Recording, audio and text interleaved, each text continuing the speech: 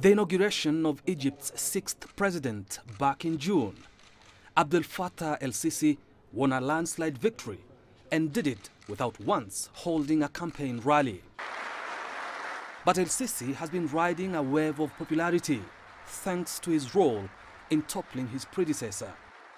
Just turned 60, el-Sisi spent most of his career working under former President Hosni Mubarak.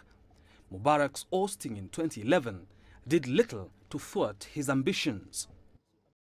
Mubarak's successor, Mohamed Morsi, made el-Sisi his military chief and defense minister.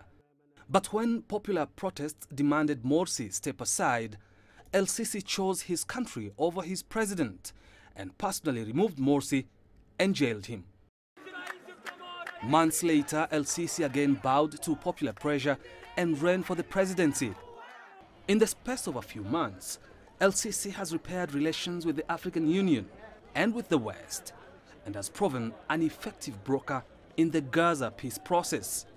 He is also seen as a valuable ally against Islamic State.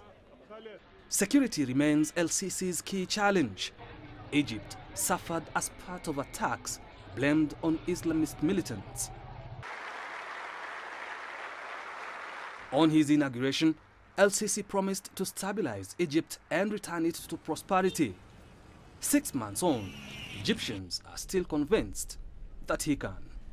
Kofam Renje, CCTV, Nairobi, Kenya.